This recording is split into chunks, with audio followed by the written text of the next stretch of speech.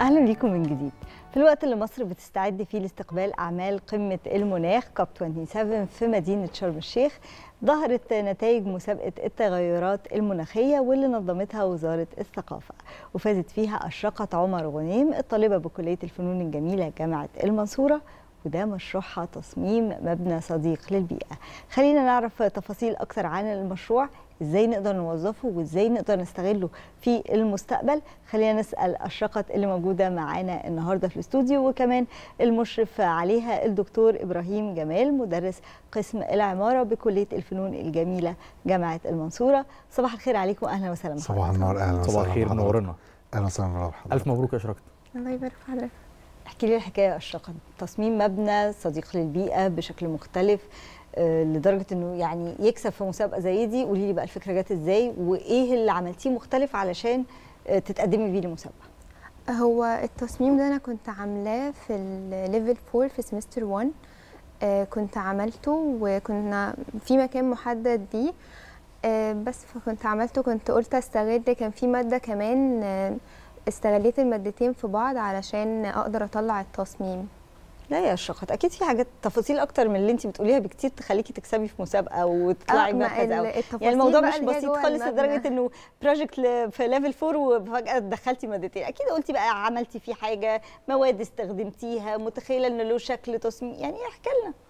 ما آه، تبخليش علينا بالمعلومة. هو المفروض مجمع الثلاث أدوار آه، مول كده تجاري بعد كده آه، إداري للشركات وكده وبعد كده آه، سكني فندقي studios وكده. آه، استخدمت بقى الحاجات اللي هي تقدر استغل بيها الطاقة المتجددة اللي موجودة عندنا في الطبيعة. يعني مثلا حطيت فوق اللي هي الخلايا الشمسية عشان أقدر أستخدم الطاقة الشمسية في الإضاءة. وكان في سنسورز في كل المبنى اللي مش هيفتح لي الإضاءة أصلا غير لو كان عارف إن الإضاءة مش هتكون اللي جاية من بره مش هتكون مكفياه. حطيت نباتات يعتبر في كل مكان آه، علشان تظبط الهواء وكده. كنت فاصلة بين آه، المبنى من فوق علشان الهواء اللي يدخل يعمل دوامات فأقدر إن أنا ما استخدمش تكييفات وحاجات من دي أقدر إن أنا الهواء اوريدي يكون موجود عندي ساقع. آه، وكان في الإضاءة موفراها في كل الأماكن علشان كمان في الأدوار اللي هي تحت عشان عاملة يعني؟ آه عاملة فتحات من فوق كده. وكمان اللي هي ال dark water وال black water دول استخدمتهم في إن هم بي... بيتعاد تدويرهم وبقدر أستخدمهم في الحريق وبقدر أسقي بيهم النباتات اللي هي موجودة في كل الأدوار يعتبر. يعني مش محتاجين إن إحنا نستخدم مية تاني. طيب عظيم. ال- الفكرة عجبتكم يا دكتور أول ما تقدمت بيها أشرقت؟ آه طبعا هو أشرقت آه من الطلبة المتميزين جدا والمجتهدين جدا عندنا. هي الأولى على دفعتها. ما شاء الله. مع إن هي طبعا هي فازت هي الأولى على دفعتها عندنا. هو حضرتك التوجه أصلا بيبقى عندنا للطلبة بيكون خاص بان إحنا بنشوف إيه التحديات اللي إحنا بنواجهها حاليا كدولة وكعالم. فكان من أهم التحديات اللي إحنا بنواجهها عموما هي طبعا التغيرات المناخية اللي إحنا العالم كله بصددها ومصر بتستضيف قمة المناخ حاليا. فبنبتدي إن إحنا نوجه الطلبة إن المشاريع بتاعتنا كلها المشاريع المعمارية لازم تكون آه، قابلة للاستخدام وقابلة للتحدي الجديد الخاص بالمناخ. من خلال استخدامات جديدة للطاقة استخدامات لطاقة متجددة زي الخلايا الشمسية وغيرها من أنواع الطاقة المتجددة زي إن أنا بحاول إن أنا أقلل من استهلاكي للطاقة ال- الأساسية زي إن أنا إزاي أستخدم آه، التهوية الطبيعية بشكل أكبر بدلا من التكييفات زي ما أشرقت ما قالت إن أنا إزاي أوفر من استهلاكنا للمية وغيرها. فطبعا أشرقت كانت من أميز المشاريع اللي كانت متقدمة عندنا وهي لما جت فكرة المسابقة وجت عرضت علينا المسابقة طورت على المشروع بتاعها وتقدمت بيه وكانت يعني الحمد لله إن هي فازت بالمسابقة يعني. الجامعات أو كتير من الكليات بيبقى عندها system يعني آه، أنتوا حضراتكم واضح إنكم وجهتوا بإنه آه، المشروعات تكون بتتناسب مع التوجه اللي بيحصل أو التطوير اللي بيحصل في الفترة الأخيرة لكن في آه، كتير من الكليات بتبقى حاطة مثلا زي عاملة focus group كده من خلاله بتقول إحنا عندنا 10 أفكار خمس أفكار وبيشوفوا مين بيبقى يعني آم، محبذ إنه يشتغل على فكرة معينة. أنهي system بتتبعوه في الكلية؟ هل الأفكار كلها بتيجي من عند الشباب ولا حضراتكم بتشوفوا إن إحنا عايزين الخطة السنة دي نشتغل كل ال projects هتشتغل في سياق واحد بحيث إن إحنا ندعم نقطة واحدة تكون الدولة شغالة عليها؟ هو حضرتك الموضوع ممكن يكون ليه علاقة أكتر بتخصصنا إحنا اللي هو التخصص المعماري أو تخصص العمارة مم. لأن إحنا كمعماريين بقى في المهنة عموما بعد كده بعد ما الشباب ما بيتخرجوا وإحنا كمعماريين بنكون حاملين لأمانة أمانة ال- المباني والمجتمعات الخاصة أو المدن عموما مم. بشكل عام اللي موجودة مم. فاحنا بنحاول نوصل ده للشباب إن هم ما يبقوش بعاد عن الحدث أو الواقع اللي إحنا عايشين فيه فعلا فاحنا كل سنة بنطور الخطة بتاعتنا طبقا للي متواجد فعلا واللي إحنا عايشينه فعلا. زي مثلا لما كنا ساعة آه، سنة الكورونا أو كده فبقى في متطلبات جديدة في التصميم المعماري. إن إحنا إزاي الإجراءات الاحترازية في التصميم نفسه وفي الحيزات الداخلية والخارجية مم. آه، جينا دلوقتي وطبعا من قبل كده تحديات الطاقة عندنا فإحنا بدأنا إن إحنا نشجع الولاد إن هم إزاي يستخدموا الطاقة المتجددة في المشاريع بتاعتهم عندنا أزمة ال- المية فبدأنا إن إحنا نتكلم معاهم إن إحنا إزاي نوفر في استهلاك المية إن إحنا نعيد استخدام الصرف الصحي إذا كان ال grey water أو ال black water ويعيدوا استخداماتها زي ما كانت أشرقت ما قالت في آه، إطفاء الحريق في آه، آه، إعادة إن أنا أروي ال landscape. مثلا أو. النباتات أو كده بعد معالجاتها طبعا فأنا ببتدي إن أنا بشوف مع ال- الشباب عندنا أو مع الطلبه عندنا إحنا عايشين في إيه إيه التحديات اللي إحنا عايشينها وإن أنت إزاي كمعماري تقدر تتعامل معاها وتواجهها بأسلوبك المعماري الصحيح طيب ده عظيم. آه، اشرقت أنت كنت لوحدك في المشروع ده؟ آه. يعني كل حاجة أنت اللي نفذتيها أنت اللي فكرتي وأنت اللي نفذتي وانت اللي عملتي كل حاجة؟ آه بس مظبوط. يعني كنت بوري للدكاترة أول بأول. مفهوم. ما هو بقى هنا عايزين نعرف دور الدكاترة في الموضوع إيه؟ يعني إيه الدعم كمان اللي قدمته ليكي الجامعة يعني هم يعني اوريدي بكون مقدمة الحاجة فهي بتصحح بقى اللي هو يعني ده مش هينفع ده مش هينفع يتحقق أو ده يعني توجيه غلط. مثلا. آه آه. مم. طيب في دعم تاني ولا هو كده بس؟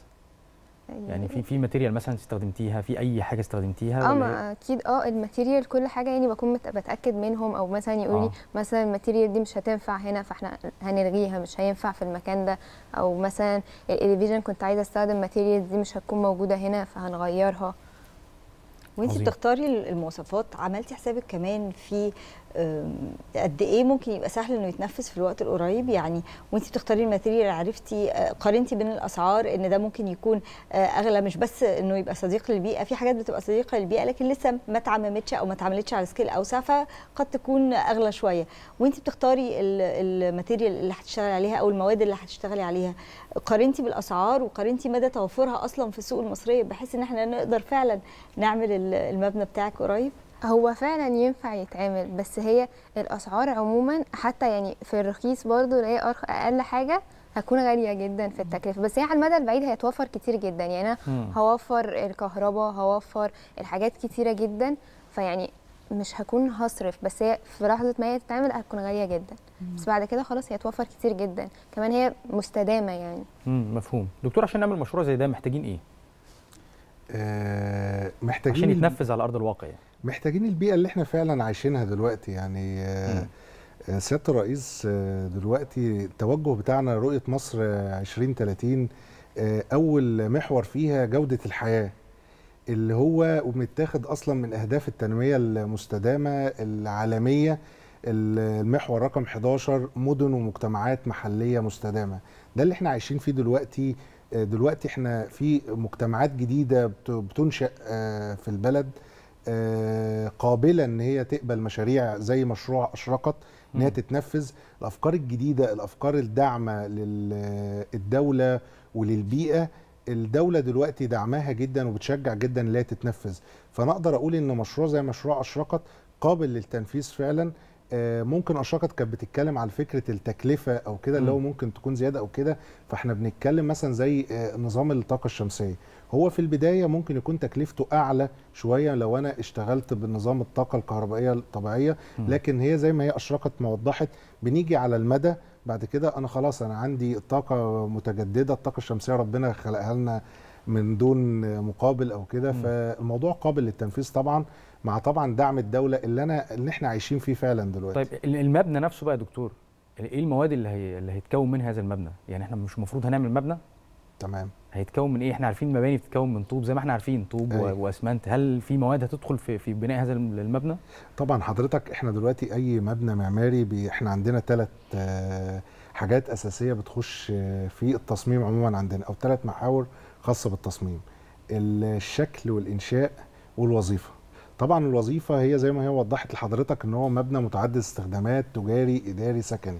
الجزء الخاص بالإنشاء طبعا هي مستخدمة مواد جديدة آه، متطبق فيها النانو تكنولوجي خاصة مثلا زي استخدام مثلا زجاج معالج آه، لؤي فبيدخليش الأشعة الضارة آه، ليا مثلا استخدام مواد ممكن تكون معالجة أصلا تبقى الحمل الإنشائي على المبنى بيكون أخف طبعا استخدام مواد آه، زي الدهانات مثلا يبقى ما. فيهاش مثلا مواد آه، طيارة أو آه، آه، حاجات اللي هي ممكن تكون تضر بال indoor air quality أو ال- الهواء الداخلي في المباني أو كده. فهي بتحاول إن هي تستخدم حتى مواد البناء تكون مواد صديقة للبيئة من غير ما يبقى فيه أي انبعاثات أو أي ضرر على البيئة المحيطة ليا. أو حتى ممكن يكون أصلا طريقة التصنيع كمان صديقة للبيئة. يعني إحنا عارفين كتير من المصانع يمكن مؤخرا بقينا بنركز جدا في التفاصيل الصغيرة دي لكن قعدنا فترة طويلة جدا طريقة التصنيع نفسها بتكون ضارة للبيئة حتى لو بنطلع منتج صديق للبيئة في الأول. أكيد طبعا أكيد طبعا. إحنا حتى دلوقتي لما نيجي نتكلم مثلا عن حد من الأمثلة العظيمة والقدوة لينا المعماري المصري العظيم حسن فتحي. معماري حسن فتحي لما جه آه، عمل آه، الفكر بتاعه الفلسفي جه قال لك ابني باللي تحت رجلك راح المنطقة شاف إيه اللي موجود هناك؟ في حجر هناك أنا هبني بالحجر. آه، في هناك الطين واطور عليه واعمل الطوب. بنى هناك بالمكان اللي هناك. حسن فتحي كان شغال بفلسفة عظيمة جدا. كان يقول لك إن المعماري بيتعامل مع بيئتين. البيئة الأولى اللي هي البيئة اللي ربنا خلقها. لازم أحافظ عليها وما أذيهاش. حتى في تصنيعي لمواد البناء اللي أنا بستخدمها للبيئة التانية اللي هي من صنعنا إحنا. واحترامنا برضو للبيئتين البيئه اللي هي من صنع الله والبيئة اللي هي من صنعنا إحنا. طيب اشرقت المسابقة كانت عاملة إزاي؟ المنافسة فيها كانت عاملة إزاي؟ إيه المشروعات اللي أنت كنت شايفة إن هي برضه مشروع من المشروعات المهمة؟ آه كان في مشاريع كتير قوي مهمة. هو كان كم كم مشروع يا دكتور؟ هو كان في عدد كبير فعلا من المشاريع يعني ما قدرناش إن إحنا نحصيها فعلا وكان في مشاركات كبيرة جدا ومشاريع قوية جدا لكن الحمد لله رب العالمين إن مشروع أشرقت نال إعجاب لجنة التحكيم إن هي إن هي تفوز لأنه كان مشروع مختلف من الناحية التشكيلية والمعمارية ومن الناحية البي- البيئية. تعاملها مع البيئة إن هو يكون مبنى صديق للبيئة هو قدر إن هو يحقق المعايير إن هو يكون فعلا مبنى صديق للبيئة قابل للتنفيذ غير ضار للبيئة المحيطة بيه. فاشرقت يعني الحمد لله بمشروعها وباجتهادها وتميزها قدرت إن هي تنال الإعجاب بتاع لجنة التحكيم وإن هم اختاروها إن هي تفوز بالجائزه يعني. أشرقت أنت في ليفل 5 هل عندك مشاريع تانية المفروض تقدميها ولا ده المشروع الأخير ليكي؟ آه لا لسه في مشروعين. في مشروع التخرج الكبير قوي ده ولسه في مشروع للسمستر ده. طيب فكرتي إن انت تكملي على اللي انت عملتيه آه. ولا انت فكرتك قائمة على إنك آه، أنا عندي لسه أفكار تانية عايزة أعملها؟ مش عارفة بقى بما إن ده كسب وكسب مركز أول كمان في مسابقة كبيرة وزي ما كان الدكتور إبراهيم بيقول آه، كان العدد أكبر من إنكم تبقوا عارفين عدد ال- المشروعات المشاركة. فكرتي إنك تطوريه كمان تاخديه لل level أعلى ثم أعلى؟ بحيث إنك توصلي لمرحلة مختلفة في في التصميم؟ هو أنا مش هاخد المشروع ده بس مثلا هاخد ال materials هاخد الحاجات اللي أنا استخدمتها فيه. آه، يعني هو هيبقى على مساحة أكبر أكيد هيبقى مشروع تخرج بقى فهيبقى على. حاجات أكبر. فمثلا هستفاد بقى بالحاجات اللي أنا قدرت أطلع بيها من المبنى ده وأقدر أدخلها بقى في المشروع نفسه. إيه هتعملي مدينة مثلا صديقة للبيئة بحالها مثلا؟ هتعملي كومباوند بحاله أو مجمع سكني كامل؟ يعني متخيلة ولا مش عايزة تقولي أفكارك على الهواء. لا مش عارفة لسه هعمل إيه بس لا بس هو يعني جميل إن إحنا نفكر حتى لو ما كانش ده مشروع التخرج بتاعنا جميل إن إحنا نفكر إن إحنا نطور في المشروع اللي إحنا عملناه. يعني إحنا عملناه خلاص ودخل مسابقة وفاز بالمركز الأول. لا إحنا برضو مع الوقت أكيد هتجيلنا أفكار ممكن نطور من الفكرة بتاعتنا مظبوط؟ مظبوط. طيب دكتور إبراهيم أنتوا بقى في القسم إزاي بتشجعوا الطلبة على هذه المشروعات؟ آه بنشجعهم بن بالتوجيه ليهم آه لفكرة. لإشكالية لمشكلة إحنا ممكن نكون عايشينها. مم. يعني مثلا بمناسبة الكلام عن مشروع التخرج أو كده إحنا كنا إحنا كلية فنون جميلة المنصورة آه كلية جديدة آه بدأت سنة 2014 وقسم العمارة بدأ 2016 أشرقت هتبقى ثالث دفعة تتخرج. فإحنا ماشيين بمنهجية واستراتيجية في العمل في مشاريع التخرج في قسم العمارة عندنا. يعني أول دفعة اتخرجت كان عندنا إشكالية ال- إن إحنا اشتغلنا على المراكز بتاعه محافظة الدقهلية. مسكنا مركز مركز شفنا إيه احتياجات كل مركز المشاريع اللي ممكن تخدمه أو كده جينا تاني تخدموا سنة البيئه المحيطه اولا ونسعى لتطويرها. وبعدين نشوف هنعمل إيه بالظبط. السنة الثانية اللي هي اتخرجت السنة اللي فاتت كنا شغالين على إشكالية إن إحنا عندنا آه، السياحه محتاجين إن إحنا نطورها.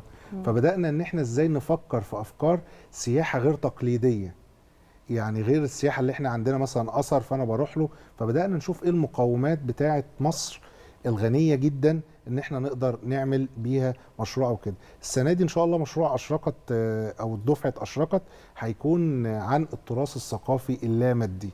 في كل أقاليم مصر بس طبعا خلينا نبقى عارفين هو آه ممكن أكون الأساس عندي أو الإشكالية بتاعة التراث الثقافي اللامادي لكن طبعا لازم المباني كلها تكون مباني صديقة للبيئة طبعا.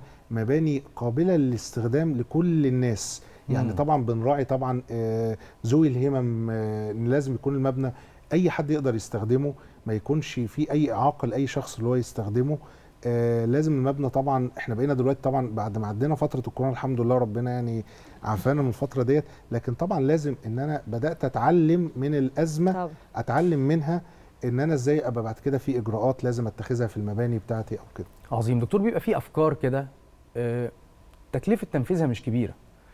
فأنتوا زي ما حضرتك ذكرت قلتوا شفتوا مراكز المحافظة كلها محافظة الدهليه عشان تشوفوا إيه المشاكل اللي اللي هم بيواجهوها ونبتدي إن إحنا نحط حلول لهذه المشاكل من خلال المشاريع. هل في مشروع من هذه المشاريع اتنفذ مثلا؟